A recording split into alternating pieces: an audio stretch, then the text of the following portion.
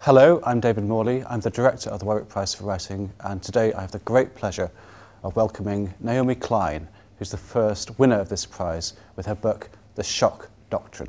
Welcome, Naomi. First of all, congratulations on winning the inaugural Warwick Prize for Writing. How did you feel when you found out?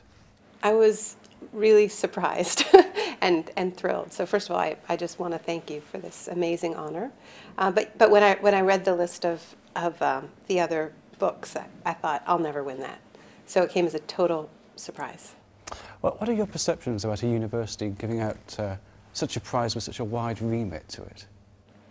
I love the idea of how, of how cross-disciplinary it is and, and, uh, and it, it, it, reminds me actually of a, a, quote from Eduardo Galeano that um, he uses at the beginning of his Memories of Fire trilogy, where he explains why he won't classify his writing. And Galeano is one of my favorite mm-hmm. writers, and talks about why he won't classify the trilogy as um, as, as, as history or journalism or mm. poetry or fiction. It's all of those things.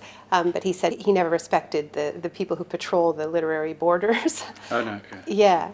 And so I, I, thought immediately of, of Galeano's um, uh, philosophy of, of, of, defiantly crossing mm-hmm. those borders and tearing up his passport. And, uh, but I think for, particularly for me, because I, I um, the book is so controversial politically that um, it was it was it, it particularly meaningful to to have the writing recognized in this way mm-hmm. because mm-hmm. I think so much of the discussion of the book focuses on um, whether or not you agree with the thesis and um, and, and, so obviously I, I, I, put a lot of work into into how I, I, built that thesis and, and I put a lot of work into the writing so it's lovely to have the writing recognized. This, this book from what I understood took, took years and years of research. Can, can you talk about how, how that all came together? Hmm. Yeah, it did take years. It started, I started the research in, I suppose, 2001. I didn't know what, what the research was going to lead to. I wasn't consciously working on this particular project, but I started researching the connections between uh, free market ideology and violence. Uh, um, when I was living in Argentina making a documentary film and the war in Iraq began, and, and I learned about the history of how uh, the free market experiment began in Argentina. Um, and it began, as they say, uh, with blood and fire.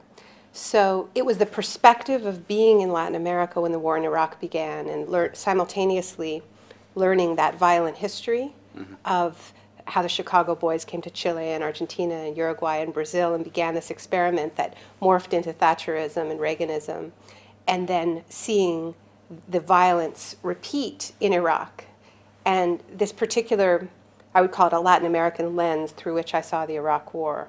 You know, if you remember all those protests in the first year uh, to stop the invasion, they were simultaneous around the world. There were these extraordinary, extraordinarily global uh, events. And I was in Buenos Aires when, when, when that day of protest happened. So we went, our whole film crew went to the protest in Buenos Aires. And what people kept saying was, they're, they're doing it again. They did this to us and now they're doing it again. And so it was that lens, that perspective, which I never would have gotten had I been at the march in London or had I been at the, the march in Toronto where I live, um, that, that opened up this narrative to, to me. Um, but it just kept evolving and kept evolving and, and, and grew, I suppose, more ambitious in scope because the thesis I started with um, was, is not the thesis I ended with. the thesis was changed by yeah, I was the research. Ask, I was going to ask, were, were, were, you transformed yourself by, by, by the writing of the book? Yeah, absolutely. I was transformed um, in the sense that I, I, really didn't plan. The, the thesis of the shock doctrine is, is, is, a pretty radical thesis. You know, it's arguing that the that the ideology of our time, which packages itself as being synonymous with freedom and democracy, uh, um, the free market ideology, um, has actually needed violence in order to advance, not just in its early laboratories, but in, you know, in Russia in the 90s, uh, you know, in China, um, and uh, you know, in, in Britain with, with the attacks on the coal miners.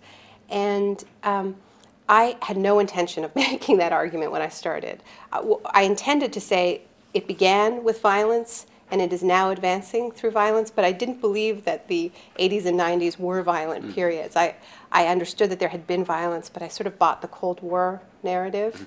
I didn't see the violence as being in service of the ideology. I think part of the reason why the book became more radical is because I wrote it in kind of isolation. Because uh, in order for me to carve out space to write, uh, I need to isolate myself a little bit. How did you do that? What's, what's your space?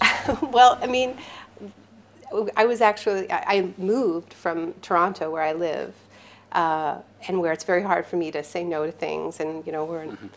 very close to New York and very close to, you know, it's just easy to, to, to, to re-engage with every, with every issue. And um, when I wrote No Logo, my first book, it also took me a long time, but at that point I was unknown and I didn't have many demands on my time and nobody really cared if I just sort of disappeared. But with this book, I really needed to carve out the space and say no to a lot of things. And eventually I was just so bad at it that we, we moved from the city to um, a, pretty remote part of British Columbia, Canada, a very um, beautiful part of Canada. Um, need to get there by ferry boat um, uh, or float plane, and and lived there for two years, uh, in a place where you know my my husband was with me for about half the time. The other half of the time, my main company was, you know, deers. One time, a bear climbed uh, the tree above my office, and so um, this, sounds, I, this is like my kind of place. Yeah, it was a beautiful I, place, but I think because I wasn't in the media mix, mm-hmm. I was really on my own. I kind of lost track of what you were allowed to say mm-hmm. and what you weren't allowed to say, and I just sort of followed followed the thesis where it took mm-hmm. me and came out at, on the other end, and people thought told me that that was a really radical mm. thing to be saying, but that, that part of your life when you were unknown, and you were writing your first book, um, obviously that's the situation in which most of the students who are here, who aspire to be writers, find themselves. Mm -hmm. From my recollection of that, that's a very enabling and interesting time. Uh, because nobody's really saying no or yes to you. You have to talk to yourself about it. Uh, how, how yeah. what, what, kind of advice would you have for uh, writers who are at that stage of their careers, with the first book's coming through, and the writing of that book, and the finishing of it? Mm -hmm.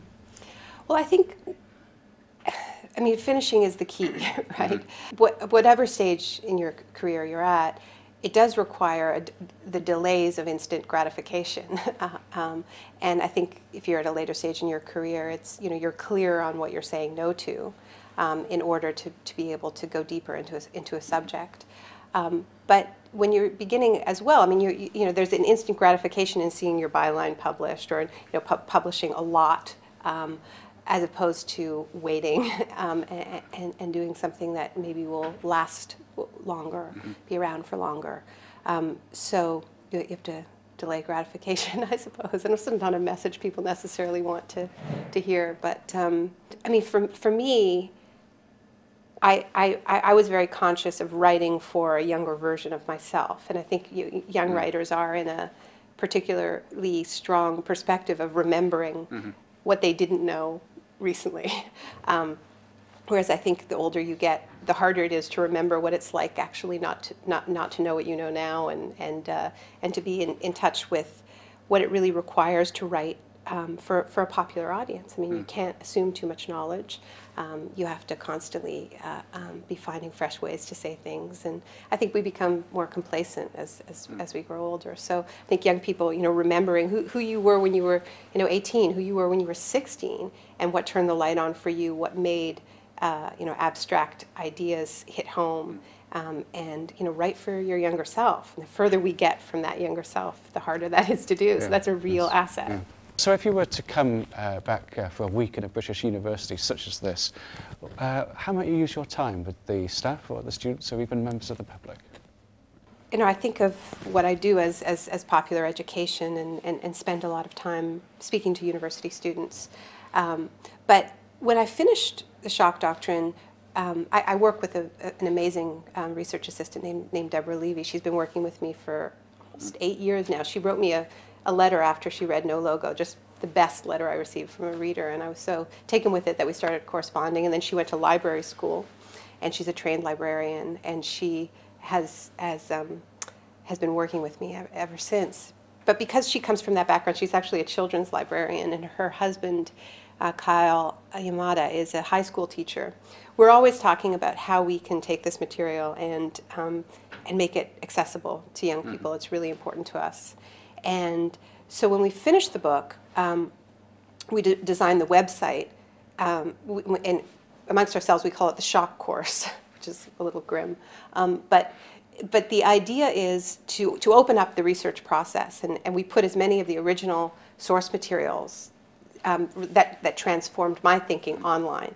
Uh, that, uh, so, you know, read Milton Friedman's letters to Pinochet and Pinochet's letters Mm-hmm. back, and you decide for yourself what was going on there, you Mm-hmm. know, um, and, and read these the declassified interrogation manuals, CIA interrogation manuals, and all kinds of fantastic source materials. So, I think what I would do is is, is teach the shock, you know, teach the shock course with with those original documents. There's a couple of documents that really um, well, there's these two letters in particular. One is um, by an Argentinian writer, um, uh, an open letter uh, to the military mi- military junta.